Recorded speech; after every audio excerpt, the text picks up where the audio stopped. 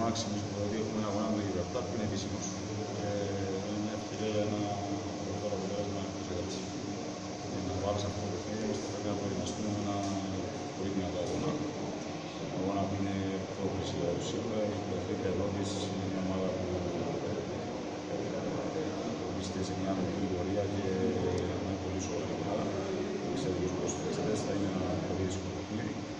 Θα ήταν μια πολύ καλή ευκαιρία να μετρήσουμε τους γονείς μας τους καλύτερους και να προετοιμαστούμε παράλληλα για το παιχνίδι του επίσημου του Αθηναίου.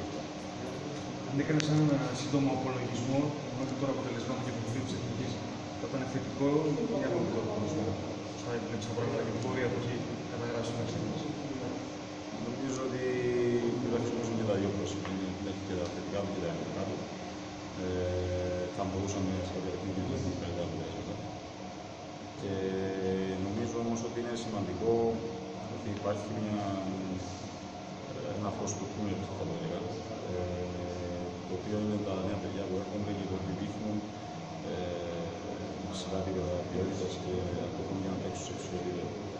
Ε, και αυτό νομίζω ότι αν συνδυαστεί με, με κάποια στοιχεία